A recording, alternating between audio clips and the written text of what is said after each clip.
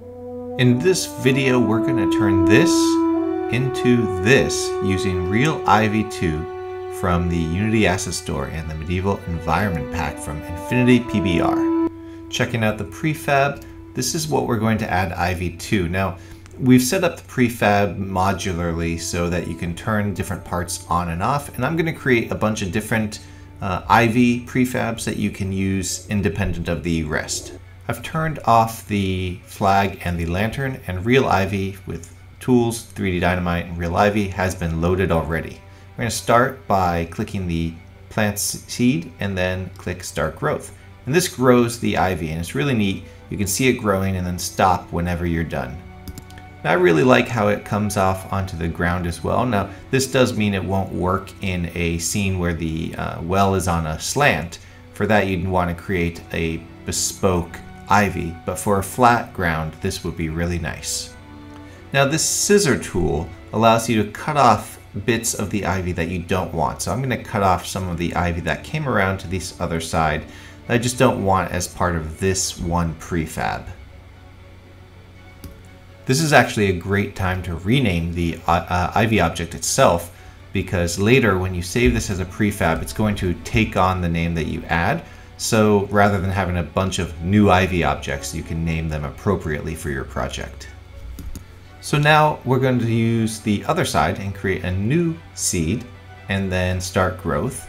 And as we watch this grow, at some point we'll stop and then we'll also cut the parts that we don't want to be um, seen. As you can see, some ended up on the top and maybe we don't want those in this object.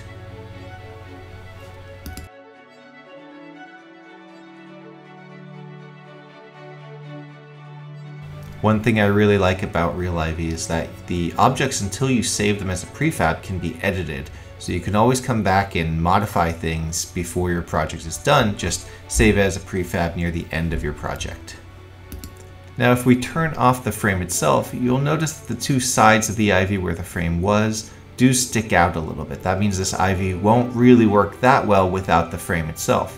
So I'm going to rename these two objects something more appropriately so I remember that these require the frame itself.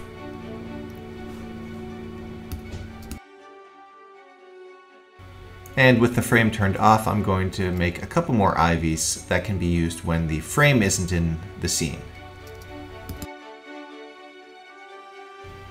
Alright, so those look good and we'll uh, name these appropriately as well. So now we're going to add some ivy on the frame itself. And so just select a part on the frame and click the Start Growth.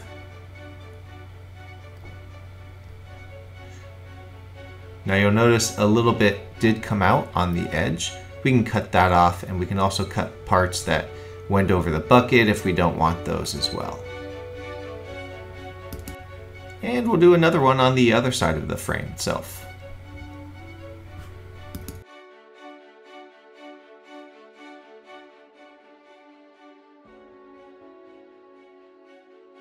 Putting all of them together, it looks pretty good. Now this is modular, so you can turn some on and off, but there are some blank spots here I'm seeing right here, and I want to connect those so that they're all together, they're connected. So if I select that ivy and select this paint tool, you can kind of choose a node and bring it down, maybe bring it up and down. Oh, now in this case, it created a new ivy. If you don't select a node appropriately, then it will create a new ivy, and oh, it looks like I have deleted the wrong one, but luckily undo works really well. So if we undo a whole bunch, it will come back to us and we have our ivy back. So again, bring the paint tool, select a node and there's a little white dot that you'll see. Select that and just bring it down, bring it up and just fill in the blanks a little bit. It's a little touch and go, but you'll get the hang of it.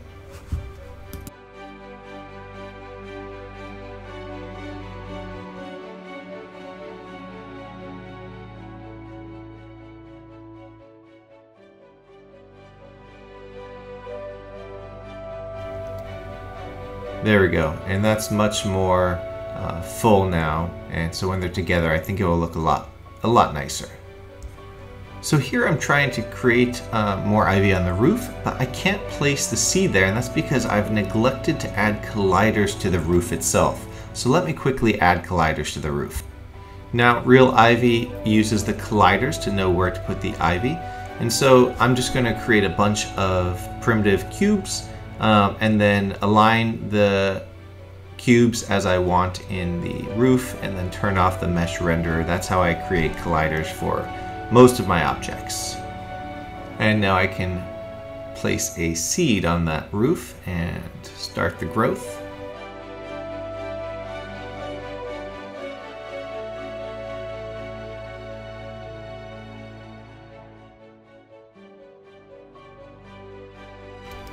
Alright, now we're just going to click the Save as Prefab button for each one of these and save them in the appropriate spot so that we can use them by adding them to the main well prefab. To do that, I'm going to add a new folder, or actually an empty game object, and call this Real Ivy.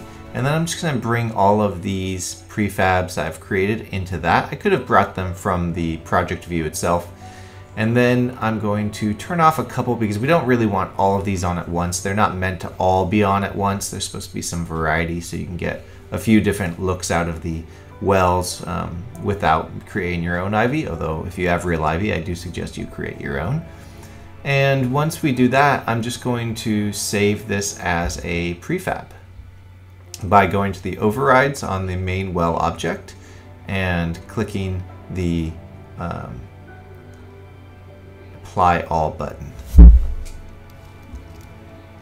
Checking out the ivy on the uh, well in the scene itself, the reason why we made it modular, of course, is that we can turn off some of the ivy. So maybe for this one, we can turn off the sides and uh, maybe even turn off the roof ivy to give it a, a, a less ivy-like look.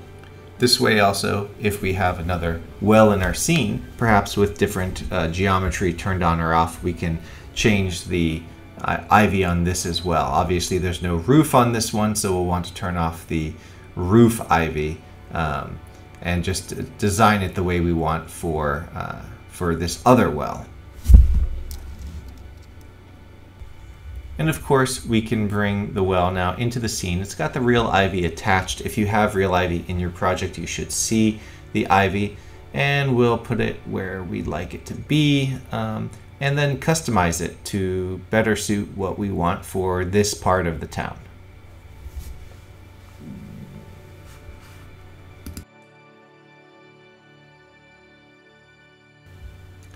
For this part, I want to add some ivy on this top bar here but I need to actually create some colliders first. Um, I've neglected to do that previously, and so let me do that right now. Alright, with that done, now I can place a seed in the middle here and click the Start Growth. And it looks pretty good, actually. I like the way it's coming around everything, and I even kind of like how it's dropping down right in the middle there. Now I'm going to save this as a special uh, prefab outside of the well structure. It's really just for the demo scene. Now if you want to add ivy over multiple objects, so you can see here these market stalls are actually two separate objects, you can do that in the scene itself rather than as a, a ivy on the prefab for the market stall. So I'm just going to create a uh, seed right there and click the start growth and see what happens. And as you can see, it's coming over both sides of the market stalls, both market stalls, and going over the roof. So I like that, and I'm going to do a, the same thing to the other side of the stall as well.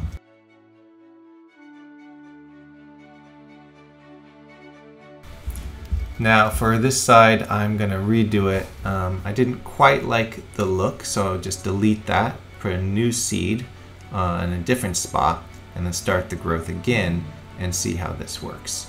I do like this one better, but once I click the stop growth button, I did notice that it came in in ways I didn't quite want it to. So I'm going to use that scissor tool to just delete some of the vines that are creeping in um, inside the interior that I don't really want to, to be there. The rest I think are, are pretty good though. Now here's a little corner of the scene that I think is pretty interesting with this cart. I'm going to plant a seed here at the corner and kind of just see what happens when I start growth.